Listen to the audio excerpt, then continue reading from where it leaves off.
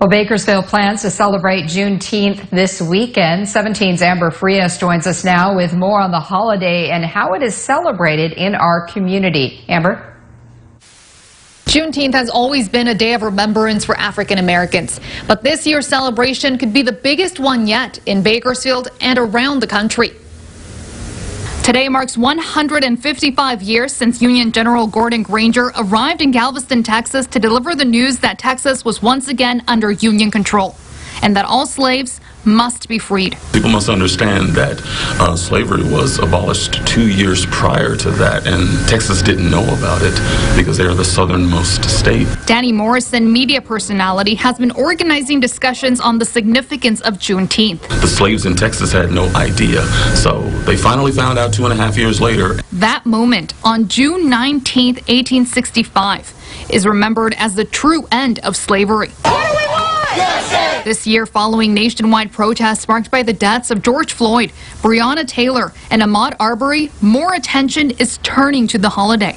It's about time. I'll take any catalyst necessary to have people pay attention to the plight of my people.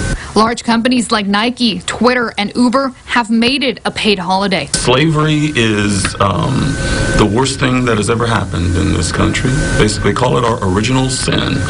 And we're starting to unravel the pain in this country. And if making Juneteenth a national holiday helps my people once again uh, start to get rid of some of that pain, I'm all for it. Here at home, Mayor Karen Goh signed a proclamation this morning recognizing Juneteenth as a city holiday. In partnership with Morrison, Bakersfield College has held a series of Juneteenth conversations called Light a Candle over a two-week period.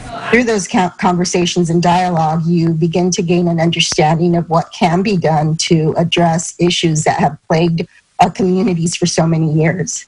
A final conversation will be held virtually tonight at 7 p.m and includes Bakersfield College President Sonya Christian, Bakersfield Police Chief Greg Terry, and District Attorney Cynthia Zimmer. There's a lot of pain associated with my people. We're talking 400 plus years of pain. But I think tonight you will understand us more and you'll understand Juneteenth more as well. You can watch tonight's Juneteenth celebration live on Bakersfield College's Facebook page. It's happening from 7 to 9 p.m. Amber Frias, 17 News.